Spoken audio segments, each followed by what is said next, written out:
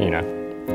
I still remember all the summer nights we spent at the park two years ago, talking about our personal lives, our hopes and dreams, and our fears. I'm typically guarded when first getting to know someone. However, with you, I felt like I could share everything. And with you, everything always felt right. You are so genuine, so passionate, so intelligent, so supportive, so considerate, so thoughtful,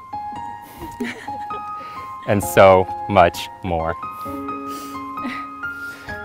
I feel so grateful to be able to call you my best friend, my fiance, and soon my wife.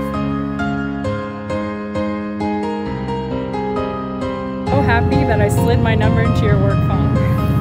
After pretty much interviewing you and asking you personal questions off the bat, like do your parents rush you to get married? How old are you?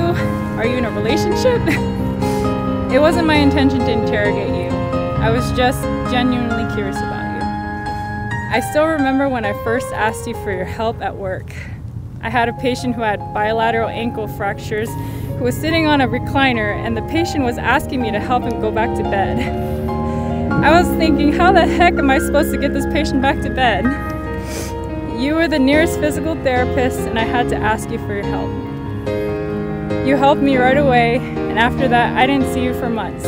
But I never forgot that you were the physical therapist to help me move my patient.